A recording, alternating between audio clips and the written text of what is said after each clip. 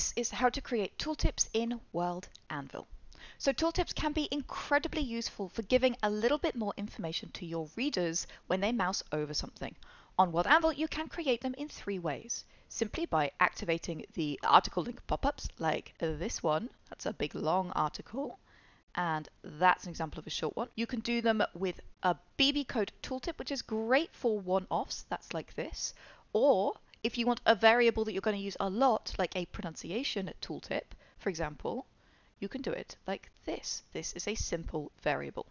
I'm going to walk you through how to do all three of those right now. We're going to start with the article link pop-up. That's this one because it's super simple to do and it applies all over your world wherever people have access. We're going to start by going to our world configuration. That's here going to go to display and then you're going to select display article tooltips that's right here and click save changes. That'll do it. That will get your articles popping up in these little windows when you mouse over them. Simple.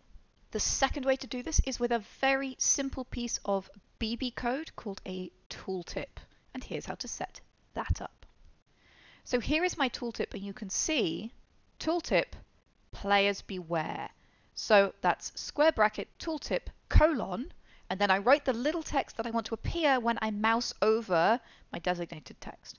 In the middle, I write my designated text itself, super fun in this case. And then of course, we're going to close our BB code with square bracket forward slash tooltip and then close square bracket. So this is the little pop-up bit. This is the anchor text and then we close our tooltip just to designate where the end of that anchor text is.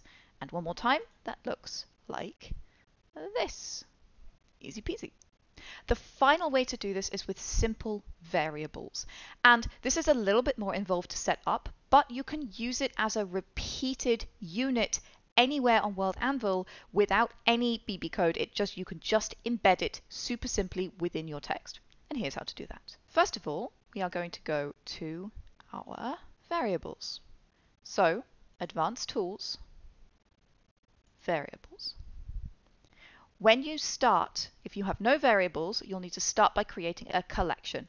Add a descriptive name. You can see I called mine pronunciations collection. And add a description if you want so you can remember what it is at a glance. Here is how it will look once you've clicked Create Collection. Let's click into my collection to have a look.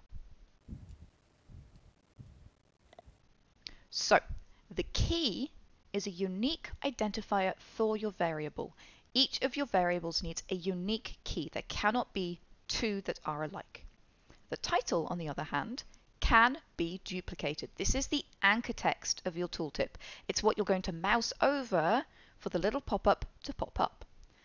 And that pop-up you write in value. In this case, my key is pronunciation regal.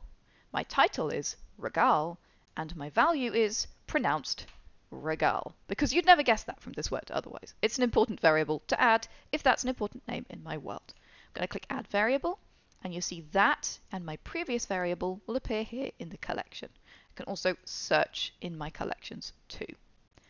There's two ways to add this. Of course, it you can copy here the value and just paste it into your article.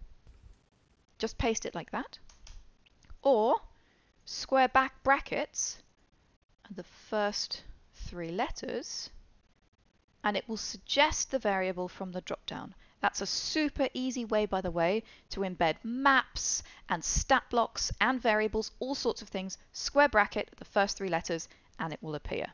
And here is how it looks in a view mode. Here we go. There is our cute little tooltip. And we can put that wherever we like, just square brackets and three letters. If it's something you're using a lot, it's a really cunning way to do that. Variables do a huge amount of work, or at least they can. So if you're interested, do check out the full resource I have in the description of this video. It is going to help you if you're if you have a lot of repeating blocks, a lot of repeating information, a lot of pronunciations that you need to clarify, um, just to speed up that world building process. It means that you don't need to keep writing out the same stuff over and over again. Guys, that's how to make tooltips on World Anvil. You know what to do. Grab your hammer go worldbuild.